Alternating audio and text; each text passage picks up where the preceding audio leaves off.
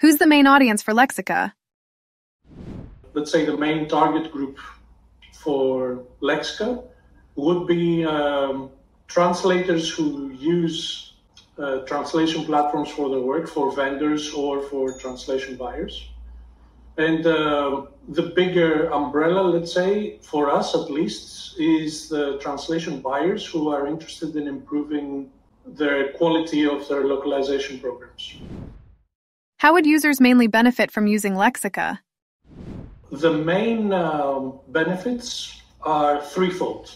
Mm-hmm. So, one benefit is that you get uh, QA checks which are targeted to each specific locale that you're working with. So, we don't uh, use uh, consistency checks only, for example, where you have a number in the source text and you try to find the same number in the target. But we take into account specific grammatical rules that apply to each of the languages we support. That means that you get less noise when you run a quality check. And that means, by extension, that you spend less time trying to figure out what is an actual problem and what isn't. So your productivity increases because of that. Uh, the higher accuracy rate, because of these locale specific checks, means that you can be more productive. Uh, you can cover a lot more texts uh, in the same amount of time. And you can also feel more confidence that whatever corrections you make are actually needed. And you also have a safety net in the background. So whenever you, as a reviewer, you make any changes in the text, uh, if you accidentally introduce a new error, uh, LexiQA is going to catch it on the fly. So one of the additional benefits, let's say, is that you have the QA as a translator, not just as a reviewer. So while you're translating, you get live QA while you're doing your work.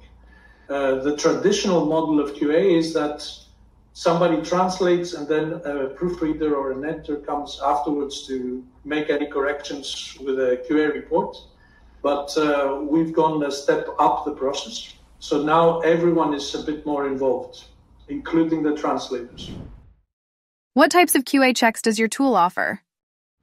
So, apart from the standard matching consistency pattern checks that you would find in any QA tool, we go into a lot more depth uh, about localization rules and grammatical rules for each language. So, whenever it comes to conversion uh, of dates, of numbers, of um, I don't know, uh, currencies and their symbols, etc., we go beyond the one-to-one matching uh, allowing for multiple patterns to be accepted depending on the grammatical rules of that language. So you could be accepting, for example, the symbol for a dollar or the, uni- the international abbreviation like USD for a dollar. Um, but you could have potentially other conversion styles too. So you could write the word dollar in a translation rather than the symbol.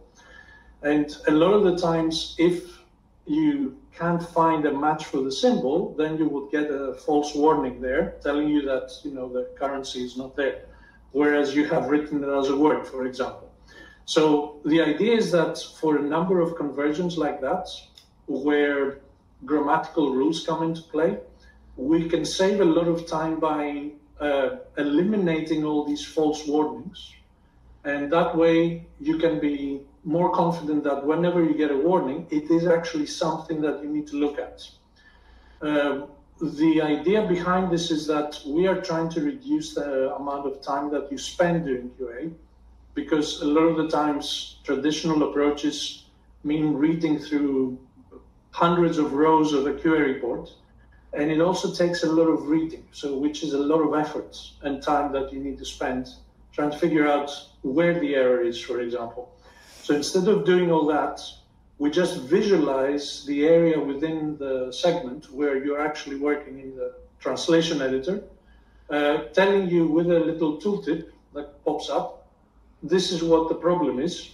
So then you very quickly can decide whether there is something that needs to be fixed or not.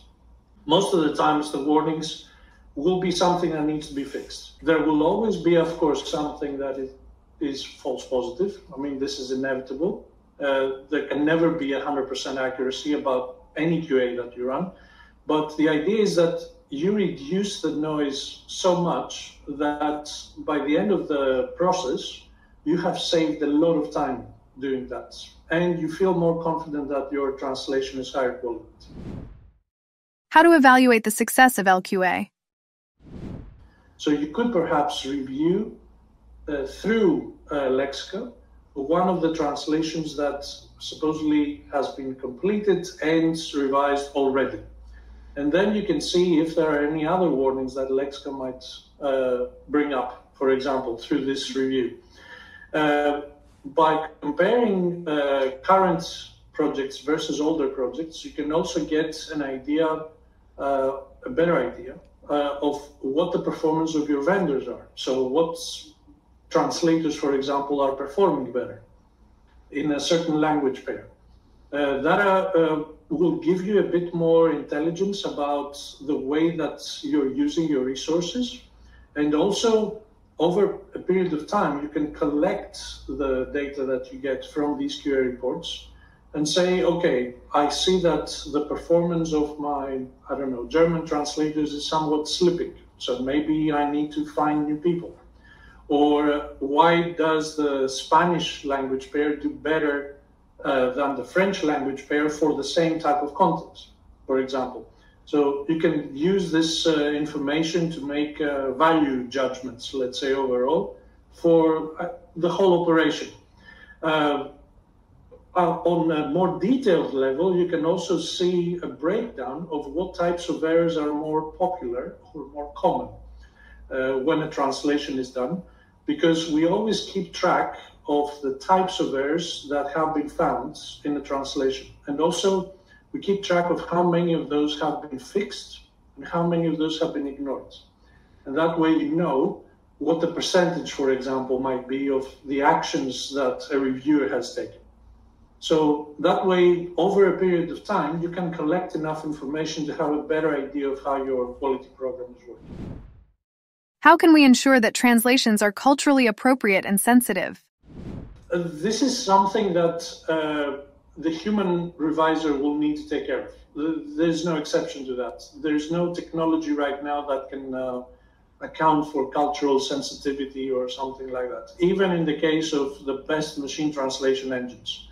So, our idea uh, in the translation process is that the automated checks we provide are there to make the translators and the revisers' job easier it's not there to basically make decisions for them.